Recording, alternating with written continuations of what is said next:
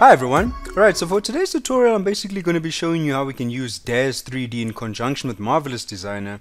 And what we're basically going to be doing is we'll start off with a posed model uh, actually we'll start off with a T-pose so which is going to be the default standard pose for our model. And then we'll pose our model and we'll export that out of Daz and take that into Marvelous Designer. And what we're basically going to be doing is in Marvelous Designer we'll create a garment on the default T-posed um, model and then I'll show you how we can basically morph between the T-pose and the final posed model and you'll see that our garments is basically going to simulate and conform to that posed state. So uh, it's a really cool trick especially if you want your clothing to be in a particular pose uh, that you like that you created from Daz. I'll be showing you how we can conform uh, the garment uh, basically morph that garment onto the pose state. So without further ado, let's get started. Alright guys, so you're going to see there's a bunch of stuff over here that you're probably not going to see in your Daz because this is just uh, some items that I've, that I've basically obtained from the Daz 3D store. Uh, but I am using the Genesis 3 female. So you all should have access to this. So I'm just using the Genesis 3 female.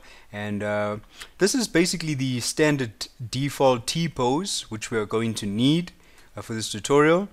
Uh, so when you load in that Genesis 3 female, it will automatically be in this pose. And then from here, you guys are just free to go ahead and start posing your model. Uh, but this is not really going to be a tutorial on posing. Uh, but obviously you can select different joints over here and I can left click and move this arm around or move this joint around. So you guys can play around with that. But um, this isn't really aimed at beginners. Uh, if you're watching this tutorial, you'll probably already have some knowledge about Daz 3D. But anyway, I have some poses over here that um, I've obtained from the store that I really like. So I'm just going to use a one of these poses over here. So let's say I'll go with the pensive B and I'll leave my limits on. Alright guys, so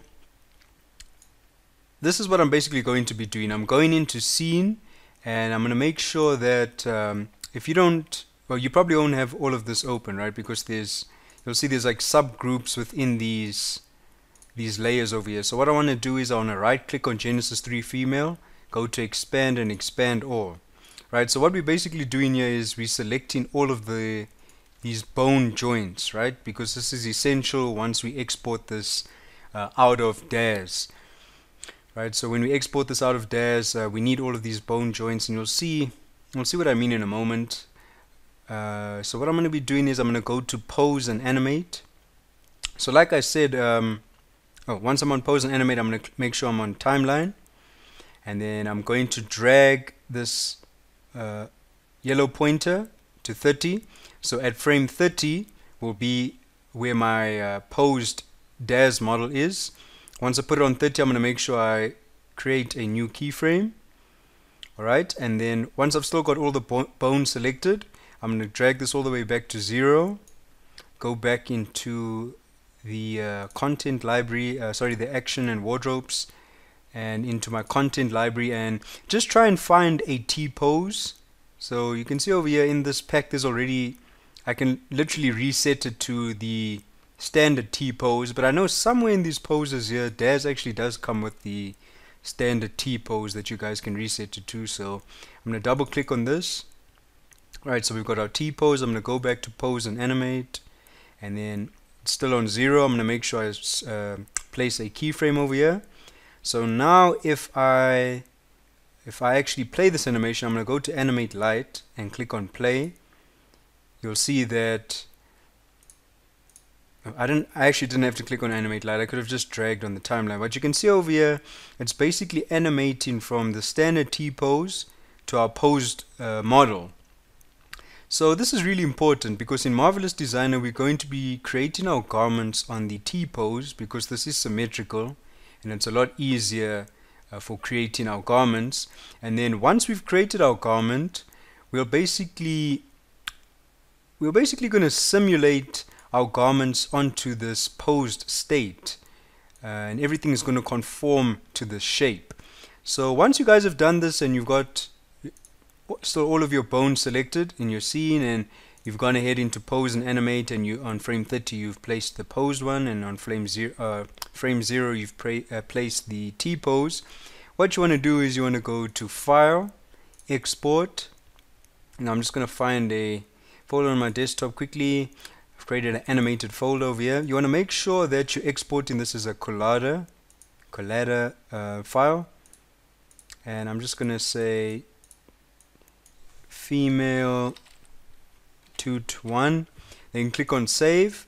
And uh, this is where I was actually getting confused in the beginning because I never saw this but you want to make sure you go and show individual settings. And over here you can see animations actually not selected. So you want to make sure you select all three of these include transformations and morphs.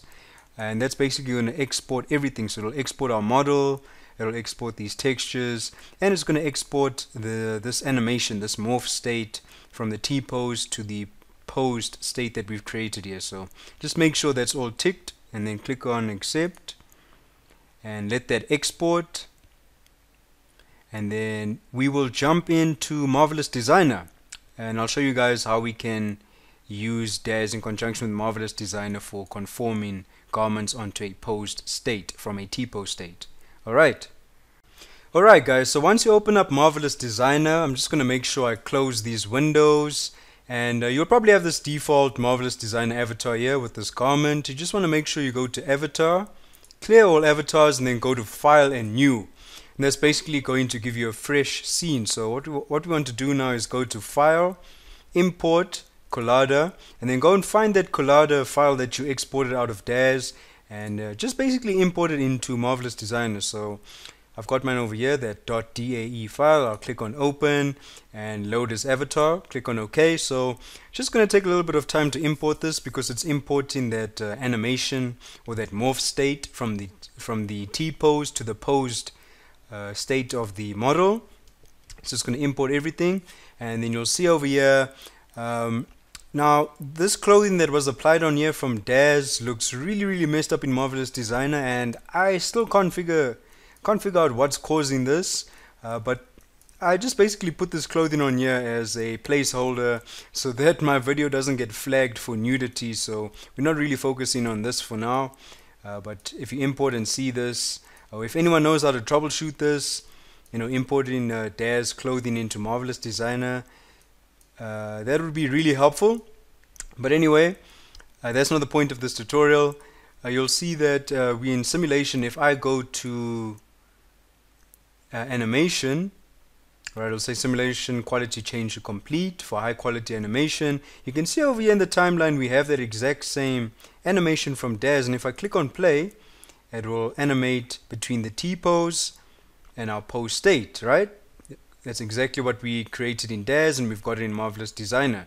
So what that's going to allow us to do as I've said in the beginning of this uh, tutorial we'll create a garment in the T-pose and then we'll click on this icon here this record and it's basically going to simulate and conform that garment onto this posed state. So let's do that quickly. Let's go back into simulation and create just a very very simple garment. So I'll just uh, drag a a let's say a, a square onto the section and then uh, let's see maybe we'll create an internal rectangle I'm actually going to make sure that I click on this just so it simulates it back into the scene. And uh, let's take this internal rectangle. And let's maybe add another point over here. And let's move that point up.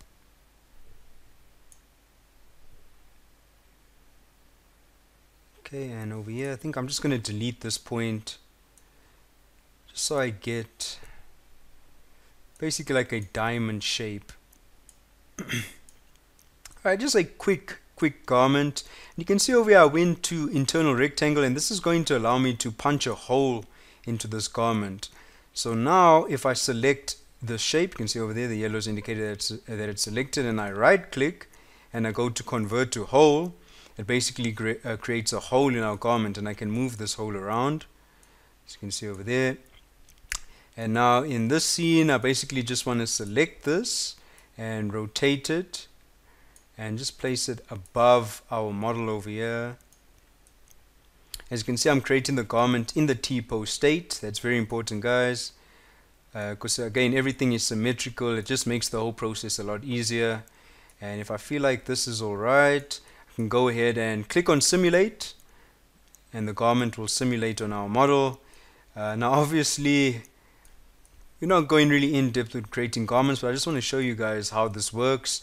So let's say you've created a garment now with the T-pose and we want to simulate this into that pose state. All we have to do is go back into animation and like I said we'll click on this record button and as soon as I click on that it automatically you can see it animates the garment into that posed state. So there we go.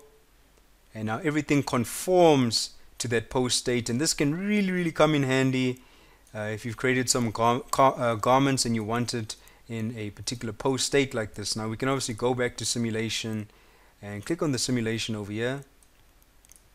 And we can continue playing around with this but as you can see guys we had it in the T pose and now we've got that exact same garment in a posed state. So obviously it's still going to require some work. You're going to have to come back here uh, pull some of these like some of the fabric over here and adjust it until you're happy uh, but yeah, that's basically how you conform garments to a posed state, guys.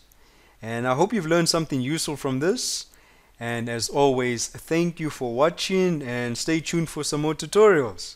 Alright, goodbye.